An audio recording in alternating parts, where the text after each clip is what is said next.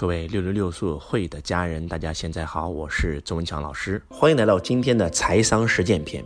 财商对我们太重要了，生活无处不财商，有财商你才能够出门千里，没有财商你真的是寸步难行。给大家举几个我们在生活当中需要用到财商的案例。今天有一个学生来向我请教一个问题，他说：“老师啊，我以前是做建筑的，然后赚了挺多钱啊，也有个好几百万的身价。”但是现在呢，建筑不好做了，我们想换行，我不知道该做什么。这个时候，突然我朋友介绍了一个朋友，跟我讲说，他们想合伙开家医院。哎，我觉得医院这件事挺好啊，挺赚钱啊，利润挺高啊，我就去考察了一下，怎么回事呢？我这个朋友的朋友呢，他是一个房东，有一栋楼，然后呢租给了一家医院，结果这个医院呢没有经营好，倒闭了啊，倒闭以后呢，人家就退租了。那这个时候，我朋友这个朋友呢是房东嘛，他就想自己去做这个医院，然后呢，我们来出点钱。跟他一起经营，然后我就问他呀，我说你那你这个房东有没有经营过医院呢？没有。你有没有经营过医院呢？没有。你大概要投入多少钱？五百万。五百万是你的多少？几乎是我们手上所有能够移动的资金了。我说你准备怎么做？我们准备投啊啊！我们亲自参与经营管理呀，我们再请一个这个经营过医院的人来呀。我想问你们个问题，那就是如果你是我这个学生，你会怎么做？你会不会选择去投资？其实我想告诉大家，假如说他不是问了我，他不是我的学生，他可能这件事儿已经干了，钱已经投了。那如果我们站在财商的视角来去看看这件事儿，这件事能不能投呢？其实我想告诉大家，首先在讲这个的时候，你一定要分清楚。我们财商把我们人类赚钱的活动分为两种，一种叫投资，一种叫创业。我们很多人是分不清楚什么是投资，什么是创业的。什么是投资？投资你记住一句话：只投钱不干活叫投资。我今天投了一个项目，我不需要干，我也不需要拉人头，我也不需要去经营，每一个月都有稳定的利润给到我。或者我投了这家公司的股份，这家公司有团队在正常的经营，它的财报各方面都是赚钱的，到年终我能够拿到我的股东分红，这叫投资。那什么叫创业呢？创业就是我要去参与这件事的经营管理，或者说我还要为这件事拉人头，那就叫创业嘛。那还说什么说？所以它其实这个不是个投资项目，是个创业项目。那既然是个创业项目，我们来看看创业需要具备哪三个要素，才能够保证创业活动是成功的。熟悉周老师、听过周老师财商课的人应该都知道，创业的三要素：第一个是能力，第二个是经验，第三个是资源。什么是能力？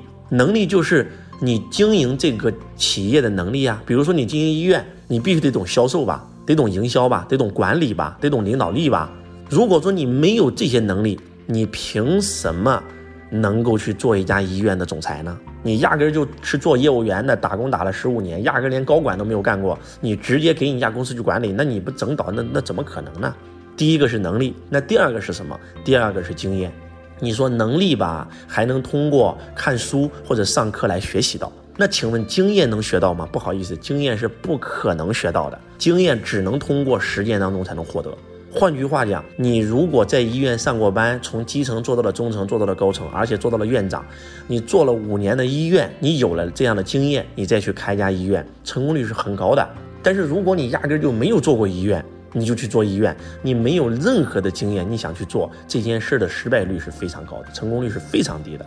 好，能力，请问我们这个学生具不具备？不好意思，不具备。那经验呢？更没有。好，第三个是资源了。什么是资源？我们要做一家医院，请问需不需要有相关的资源呢？比如说要办牌照吧，得有政商关系的资源吧。比如说我们要找好医生吧，得有医疗方面的资源吧；我们要进医疗器械吧，得有这方面的资源吧；我们得进药品吧，得有这方面的资源吧；我们得需要护士吧，对吧？得有这方面的资源吧。那资源怎么获得？资源也只有你做过这个行业，在这个行业经营了很多年，才有可能获得资源。有了这三个东西，不需要钱就可以创业成功了。而我们这个学生是这三个东西都不具备的。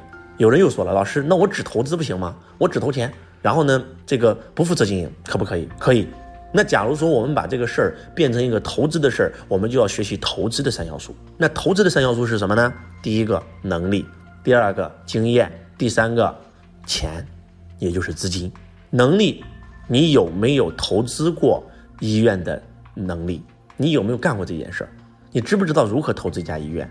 对吧？作为一个投资人，投资合合同怎么签？入股协议怎么签？退股协议怎么签？股权怎么分配？这些东西你懂不懂？这个行业你懂不懂？有没有涉猎过？经验就更不用说了。你有没有投资过类似的医院？好，这两个我相信我这个学生也不具备。那第三个资金，什么是资金呢？假如说我这个学生有五个亿，今天要投资五百万投这个医院，就算前两个条件都不具备，只有这个条件具备了，也是可以干的。为啥？亏了也无所谓嘛，输家战略嘛，反正我试一试，万一赚钱了呢？我有五个亿身价，对吧？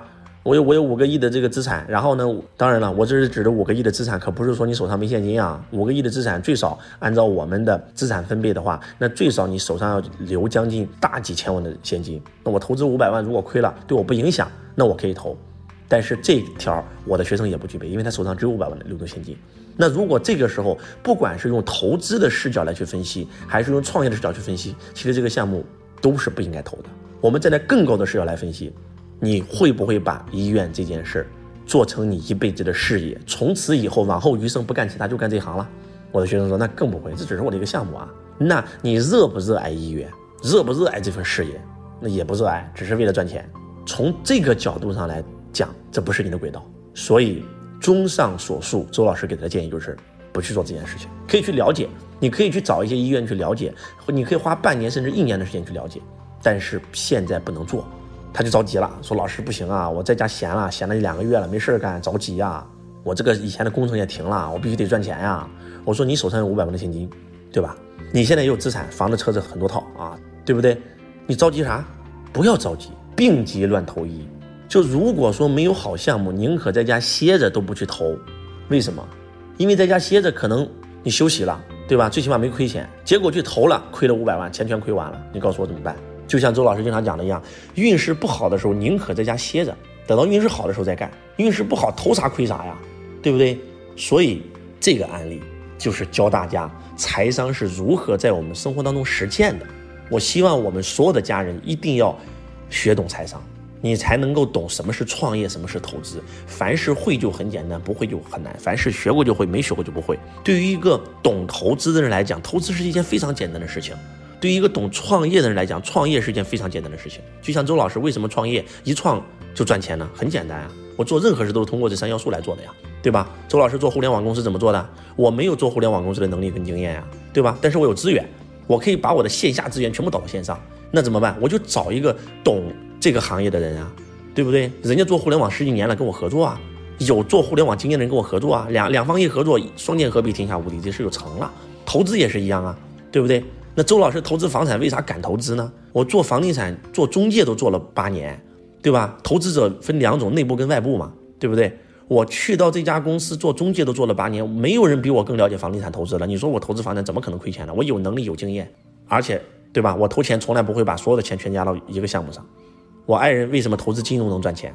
他在金融公司做了将近七年，没有人比他更了解股票，所以他投炒股能赚钱呀。所以，希望大家要记住创业的三要素：能力、经验、资源；也要记住投资三要素：能力、经验、资金。